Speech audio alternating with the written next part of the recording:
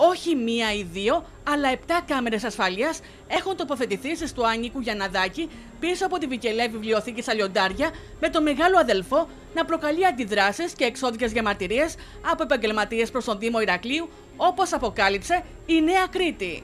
Το σκηνικό του Big Brother προκαλεί δεκάδες ερωτηματικά, όπως και η στάση της Αντιδημάρχου Πολιτισμού Αριστείας Πλεύρη, η οποία υπέγραψε την ανάθεση του έργου. Εμένα με συλλάβατε γιατί περνάω πολλές φορές την ημέρα, πηγαίνω στο γραφείο μου από εδώ. Ε, θεωρώ ότι η ασφάλεια ε, είναι αναγκαία. Οι υπερβολές πρέπει να αποφεύγονται. Πραγματικά είναι ένα σύνθετο θέμα. Χρειάζεται τόσες κάμερες, κύριε Κουκιαδάκη; Δεν το ξέρω, δεν είμαι τεχνικός, αλλά η υπερβολή πάντα δεν χρειάζεται. Ο τηλεοπτικός φακός βρέθηκε στη ΣΤΟΑ, η οποία έχει μετατραπεί σε φρούριο παρακολούθησης όπου καταγράφονται τα πάντα. Οι κινήσεις πολιτών, όπως και οι πελάτες που μεταβαίνουν στη γραφεία της πολυκατοικίας, με τους τελευταίους να εκφράζουν τα παράπονά τους προς τους επαγγελματίες, υποστηρίζοντας ότι χάνεται η αναγκαία εμπιστευτικότητα.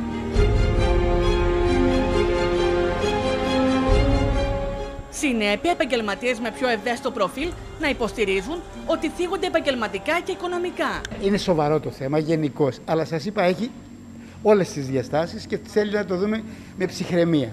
Επιπλέον στη ΣΤΟΑ συναντώνται και ανήλικα παιδιά.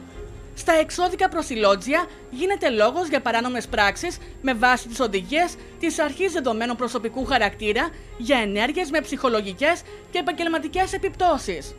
Το θέμα που ανέδειξε η Νέα Κρήτη έχει προκαλέσει έντονο προβληματισμό και στι τάξει των παρατάξεων της αντιπολίτευσης, οι οποίες πρόκειται να το θέσουν προς συζήτηση στο Δημοτικό Συμβούλιο. Σίγουρα πρέπει να το συζητήσουμε όχι αντιπαραθετικά, αλλά να δούμε τι κάνουμε. Γιατί έχει και τις δύο διαστάσεις. Είδατε και η εγκληματικότητα έχει περιοριστεί και δράστες συλλαμβάνονται, αλλά η ιδιωτικότητα έχει καταργηθεί.